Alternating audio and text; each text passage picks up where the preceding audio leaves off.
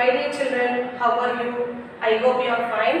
In today's class, we are going to discuss a new topic, algebra. This is a very important topic, okay?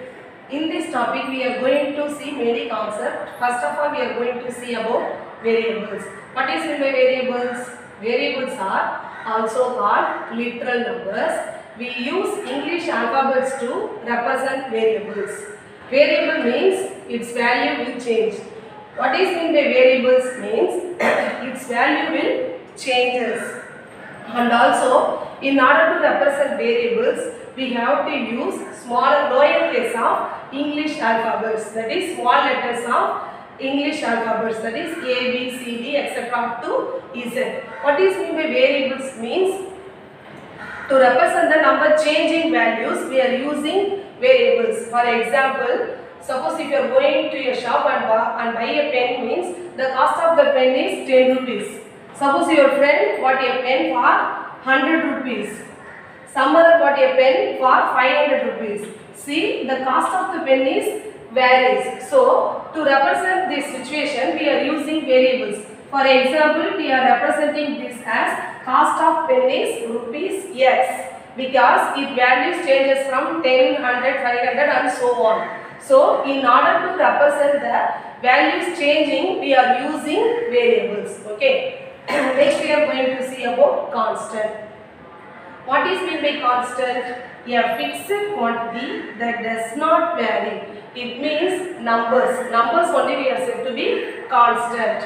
A fixed quantity that does not vary. For example, 5, 4, 13, 17. If you are going to a shop and you are asking 5, give 5 apples means they give only 5 apples. Not more than or less than that uh, numbers. Okay. So, the constants means here we are meaning only the numbers. Okay. Next we are going to see algebraic expressions. An expression which involves variables, numbers and one or more of mathematical operations of addition, subtraction, multiplication and division is called algebraic expression. What is meant by algebraic expression? It involves variables. Variable means here we have to use English alphabets in lower case that is small letters. Variables and numbers and minimum it should have one operations. What is by operation here? Addition, subtraction, multiplication and division. Such expressions is said to be algebraic expression. See here we have some examples. See here 2x plus 7. Here what is the variable? x is the variable and which is the constant? 7 is the constant. Okay. Here we have 2x. It means the operation between 2 and x is multiplication. 2 into x. Instead of writing 2 into x, we are shortly writing as 2x. So hereafter you have to understand if you write like this means uh, the operation between the number and variable is multiplication. So 2x plus 7. This is an algebraic expression. See, according to the definition, it has variables and numbers and mathematical operation multiplication and addition. Okay, so we are calling this expression as algebraic expression. Do you understand? See the next example 4y. Here which is the constant 4 is the constant and y is the variable. What is the operation between 4 and y? Multiplication 4 into y. Instead of writing 4 into y in algebra we are going to write 4y like this only. Next see the third example p plus q. Here the variables are p and q. You should use small letter p and small q for writing expression. Okay. And operation between p and q is addition. I hope you understand what is variable and constant and algebraic expression. Okay. Next we are going to see what are the terms of algebraic expression. You can easily understand by seeing this example. See the first one. 3x square minus 4x plus 12. See here children. x to the power 2. How can you read this? x square. How do you read this? x square or x power 2. Usually we use x square to read this. Okay. Once again read this expression 3x square minus 4x plus 12. This is an algebraic expression. Here our variable is x. See here, this is also one algebraic expression. This is also one algebraic expression. Now we are going to write the terms of this algebraic expression. How do you write? See here. The terms are what are the terms? See here 3x square. This is one term. So first you are writing 3x square. What is the next term? 4x. While you are writing the term 4x, you must write the 4x along with its symbol. What is the symbol of this term 4x? Minus. So here you have to put one comma and then you have to write minus 4x. Do you understand children? So what is what are the terms of this expression? 3x square minus 4x and 12. While you are writing the terms, you should place comma in between the terms. Okay. And also while you are writing the terms, you should write the terms along with its symbol. If it is positive symbol means no need to write. For negative symbol, you must write that symbol. So the terms are 3x square minus 4x and 12. So these three are the terms of this expression. Next we are going to write terms of this expression. So what are the terms? The terms are x cube. Here you have to place comma x cube, comma x square and 7. So this expression contains three terms. How do you identify the expression contains three terms or two terms? By observing the symbol of addition and subtraction. See here, these terms are separated by the symbol minus and plus. See here, here the terms are separated by the symbol plus. So by observing the symbol plus and minus, you can easily count the number of terms. See here, how many terms they are having? 1, 2, 3 terms. Here it has how many terms? 2 terms, 4y square and minus 12. These are the terms of 4y square and minus 12. So this is the correct way you have to write the answer for this question. How do you write the answer for the terms? 4y square comma minus 12 are the terms of 4y square minus 12. Let us see some more example for terms of algebraic expression. Okay. See the example 1. Write the terms of the following algebraic expression. Here we have some expressions. Now we are going to write the terms for this expression. Okay. Read the first expression 2p plus qr minus 8. Listen carefully children. While you are writing the algebraic expression, you must use the small letters ABCD. Okay. Don't write capital P or capital Q or capital R. All the letters should be in small font. Okay. Small letters. Uh, it means lowercase. So 2p plus qr minus 8. What are the terms? The terms are 2p, comma, qr, comma. While you are writing the terms, you must include the negative symbol. If it is positive means leave that symbol. Okay. So what are the terms? 2p, qr and minus 8. See the next one. AC plus b minus 2c. So what are the terms? AC, comma, B and minus 2C. So what are the terms? AC, B and minus 2C. Thus this expression has three terms. See the next one 12 minus x minus 2y. So the terms are 12 comma minus x comma minus 2y. So these three are the terms of this expression. Okay, next we are going to see very important concept coefficient of a term. How do you identify the coefficient of a term? By seeing this example, you can easily understand. See the first one, 4x cube. One more important thing, you can write the coefficient of variables only, not for the constant. Okay, listen carefully. You can write the coefficient of variables only, not for the constant. See here, this is an algebraic expression. How can you read this? x to the power of 3. 3 means you can read it as cube. C-U-B-E. So, we can read this expression as 4x cube. Okay. 4x cube. This is the given algebraic expression. Now we are going to write coefficient of x cube. To find the coefficient of x cube, hide the x cube. What is the remaining, num remaining number? 4. So 4 is the coefficient of x cube. See the next one minus 3y. So this is our given algebraic expression. In this expression which is the variable, y is the variable. Now we are going to write coefficient of y.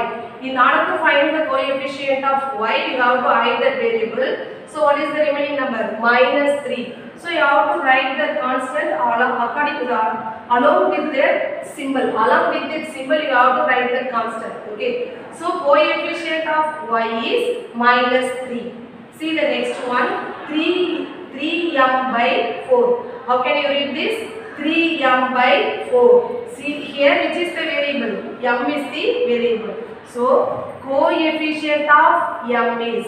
So in order to find the coefficient of m, you have to hide the m. So what is the remaining number? 3 by 4. So coefficient of m is 3 by 4. Do you understand? See the next one. P. Coefficient of P is. So what should be the coefficient of P? Do you have any idea? Yes, the coefficient of P is 1. If the any variable is comes alone means it is understood in front of that variable you have the coefficient 1. Suppose you have the variable like this, see here x cube.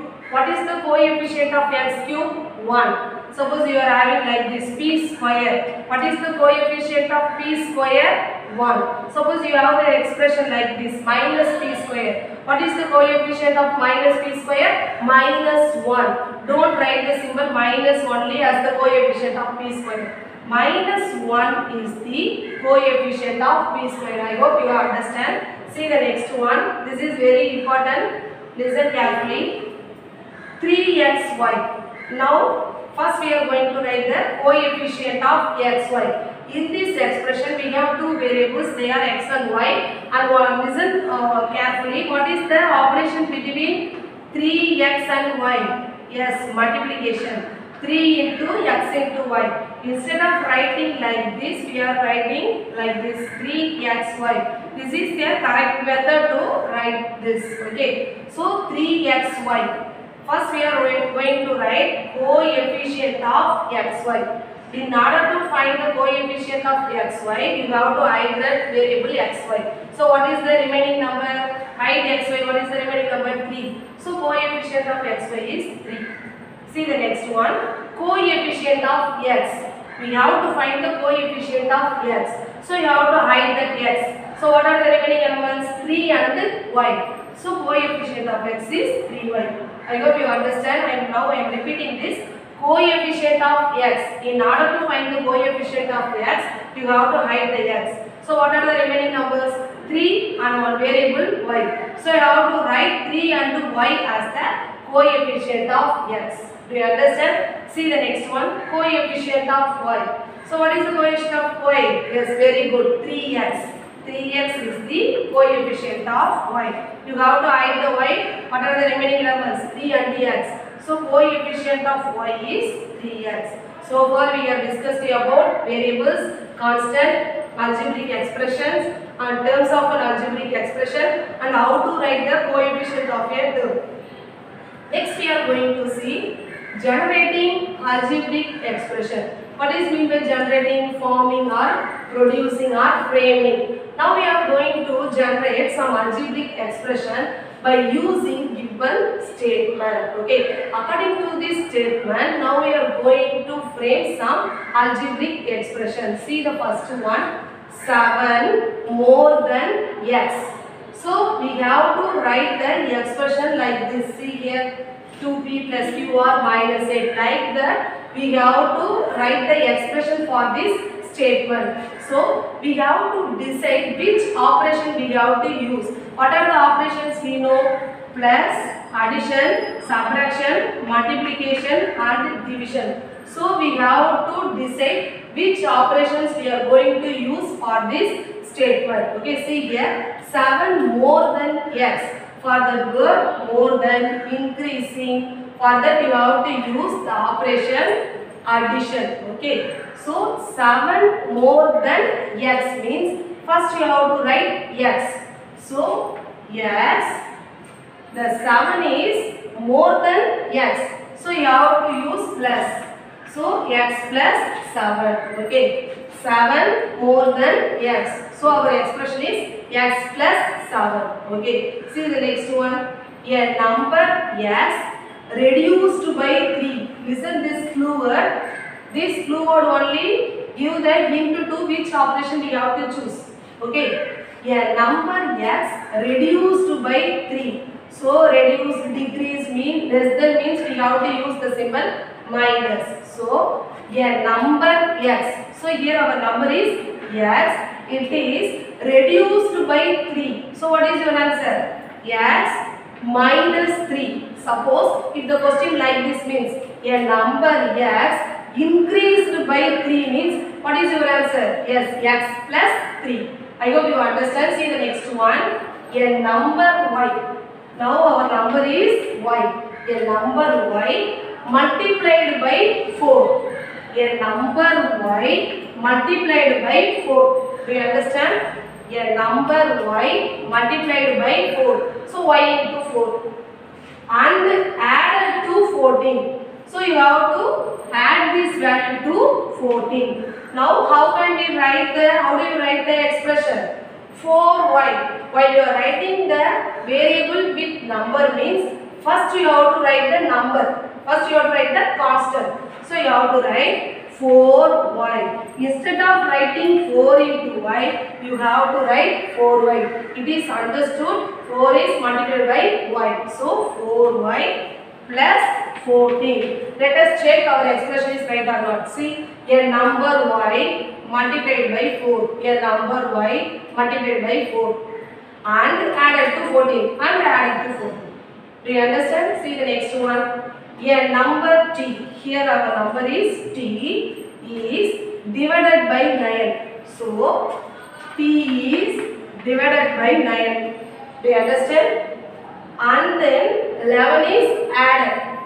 So you have to add 11. See here. A number t is divided by 9 and then 11 is added. So we can't use this symbol division. So instead of writing this divided symbol, you may write t by 9. It also means t is divided by 9. So instead of writing t divided by 9, you may use this bar. So t by 9 plus 11. I hope you understand. Let us check. A number t is divided by 9 and then 11 is added. I hope you have understand how to frame expression for the given statement. Next we are going to see another concept value of an expression. How do you find the value of a given expression? See the first one. Find the value of the following. See the first question. x plus y when x equal to 2 and y equal to 3. It means we have to find the value of this expression x plus y when the value of x is 2 and value of y is 3. So this kind of situation we are finding the value is said to be value of an expression. How do you find the value of the expression? See here in the solution part you have to write substitute x equal to 2 and y equal to 3 in x plus y. See here this is the given expression algebraic expression x plus y. What is the value given for x? 2. So 2 plus what is the value of y? 3. So you have to write like this. Instead of x, you have to write its given value 2 and write the symbol as it is plus. Similarly, instead of y, you have to write its given value 3. So 2 plus 3, our answer is 5. So value of the expression x plus y is equal to 5 at x equal to 2 and y equal to 3. Suppose instead of 2 and instead of 3, they are giving some other value means you have to substitute the given values in this expression. Okay, see the next one. We have to find the value of this expression 70 when t equal to 2. So you have to substitute t equal to 2 in 70. You have to substitute the value t equal to 2 in 70. So instead of t, you have to substitute its given value 2. So what is the algebraic expression? 70 which is equal to 7 into instead of t you have to substitute its given value 2. So 7 2s are 14. So the value of the given expression 70 at t equal to 2 is 14. Do you understand? See the next one.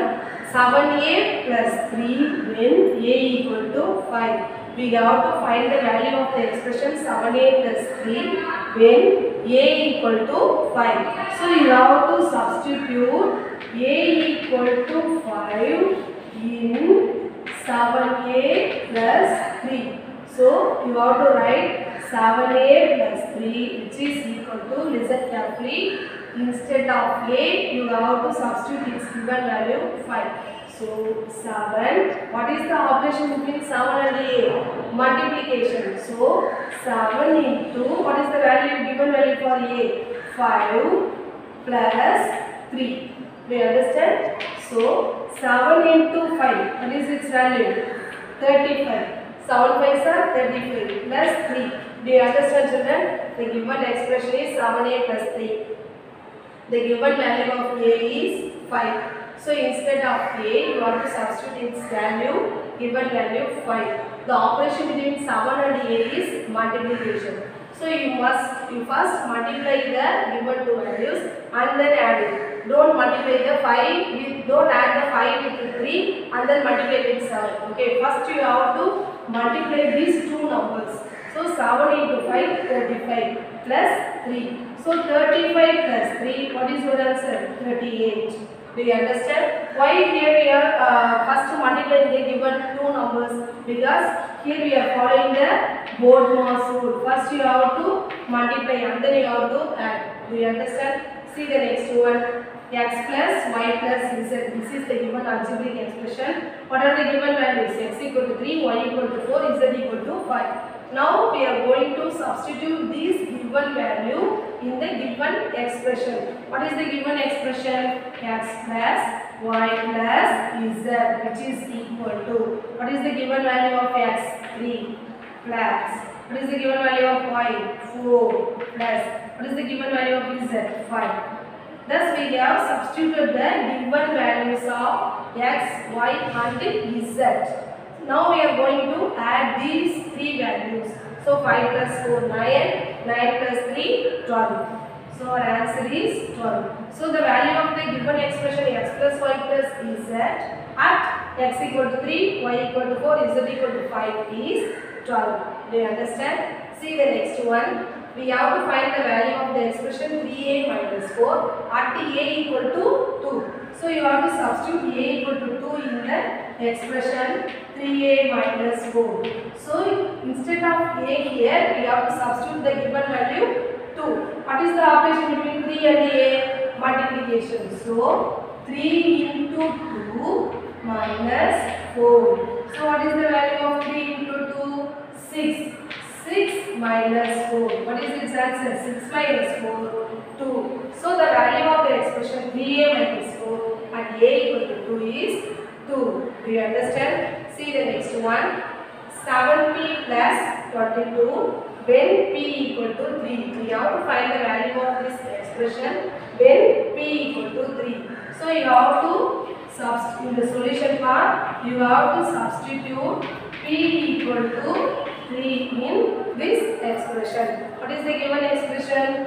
7p plus 22. What is the operation between 7 and p? Yes, multiplication. So 7 into 3 plus 22. 7 3 is 21 plus 22 which is equal to 43.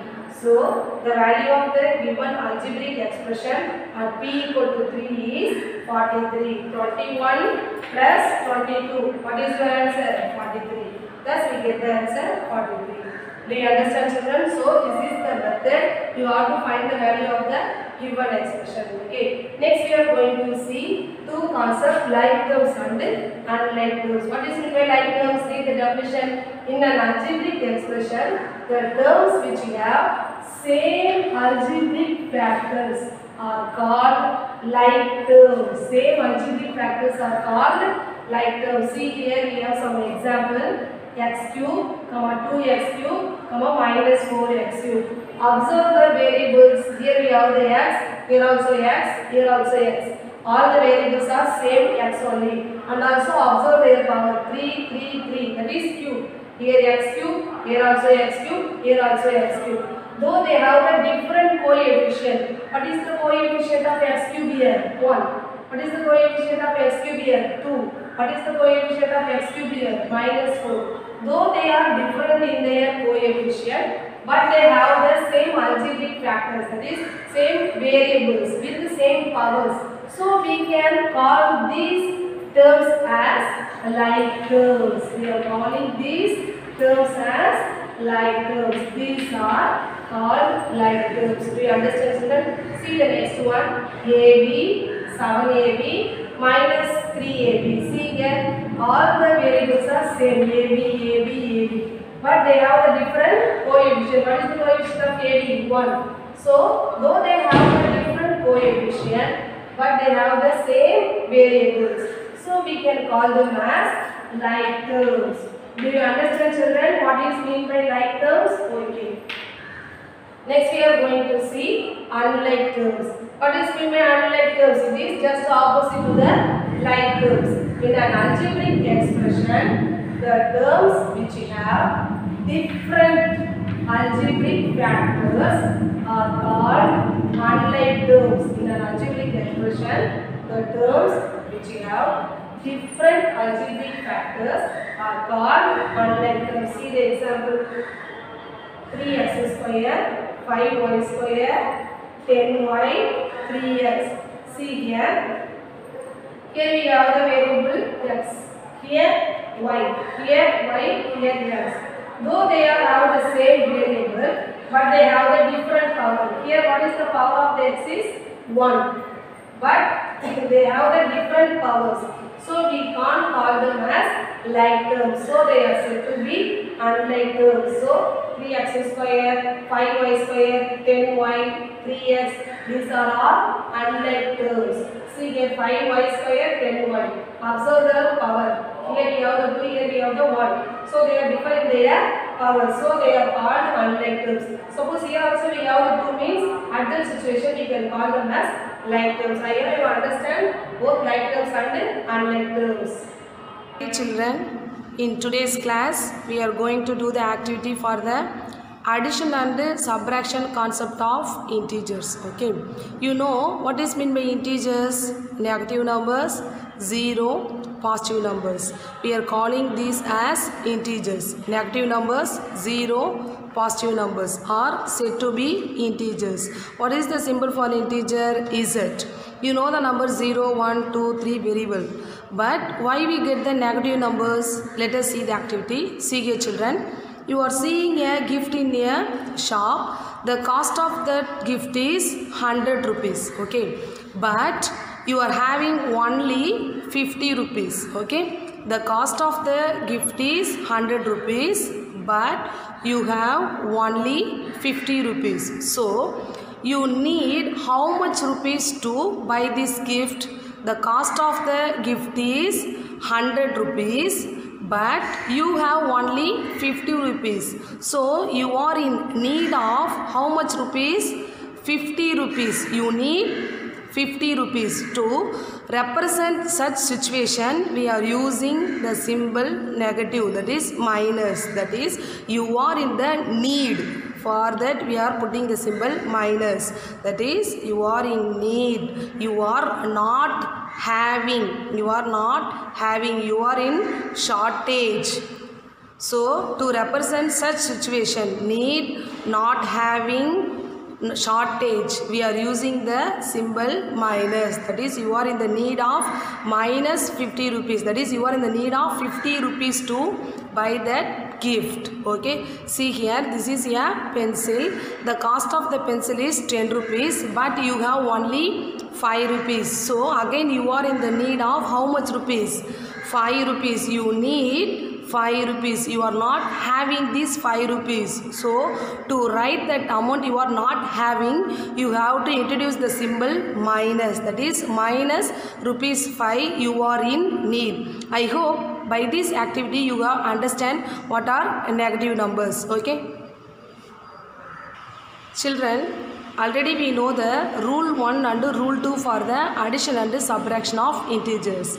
Now we are going to do the activity for the concept of rule 1 for addition and subtraction of integers. What is rule 1 same sign means you have to add and the sum get the common sign. Same sign means you have to add and the sum get the common sign okay? Now see this example children. 2 plus 3 this is the normal addition. 2 plus 3 means 5 as per the rule 1 the symbol of 2 is plus. And what is the symbol of 3 it is also plus. So the given two integers are in same sign. So we are adding. You get one sum. What is the sum here? 5 so the sum also get the common sign. What are the common sign here plus so here you have to put the plus do you understand children okay now let us see the one more example see here children i can also explain this by using the coin plus 2 so i am having two coins plus 3 so I am having 3 coins. So totally I am having how much coin? 1, 2, 3, 4, 5 coins. Thus I am writing plus 5 coins. That is I am having these 5 coins. Okay. Now see the next example. Minus 2 plus minus 3. That is given two integers are in same symbol that is both are minus now we have to remove the bracket before add or subtract. The first number is no problem. You have to remove the bracket and write the number as it is. So minus 2 while you are remo- removing the bracket second bracket third bracket etc before removing the bracket you have to multiply the symbol.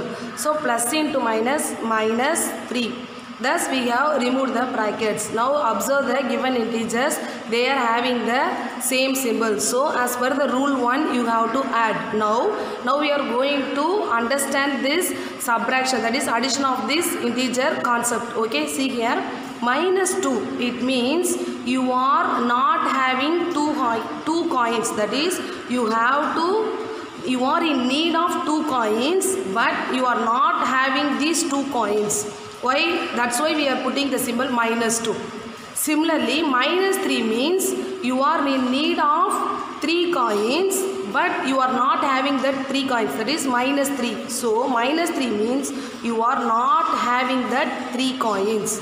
So totally you are in need of how many coins? Here you are in need of 2 coins.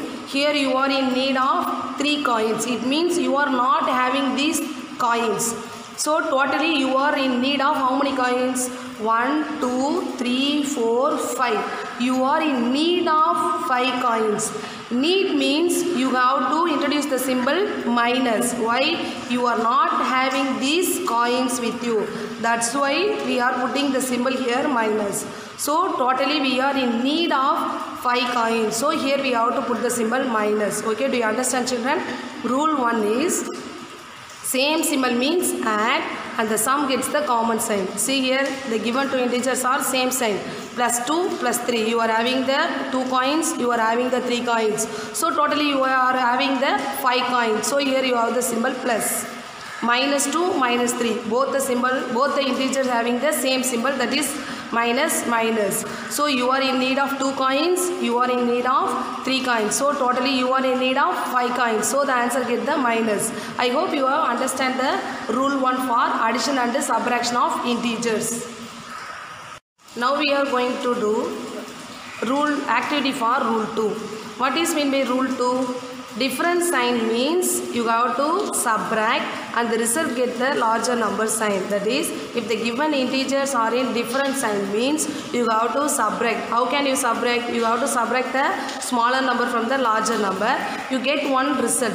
The result get the symbol of the larger number. See here we here we have two number 3 and 7 The- what is the symbol for 3 plus. What is the symbol for 7 minus. So different sign different sign means subtract. So subtract the smaller number from the larger number. 7 minus 3 so what is your answer? 4 as per the rule 2 this is the result we got. The result get the symbol of larger number which is the larger number here 7 what is the symbol for 7 minus. So you have to assign the symbol minus for 4 so your answer is minus 4 okay? Now we are going to do the activity for this sum. Okay? Plus 3 means you are having the 3 coins. So 1 2 3 minus 7 means you are in need of this 7 so you are in the need of 7 coins. So 1 2 3 4 5 6 7 that is you are in the need of 7 coins. But you have plus 3 coins. So you are fulfilling your need. So 1 2 3 okay after adding these 3 with minus 7 still you are in need of some coins. How many coins you are need? 1 2 3 4 thus you are in need. Need means you have to introduce the symbol minus. Thus 3 minus 7 is minus 4 thus plus 3 minus 7 as per the rule 2 you get the minus 4 by activity also you get the same answer. I hope you have understand the concept of uh, different symbol means subtract and the result get the larger number sign. Thank you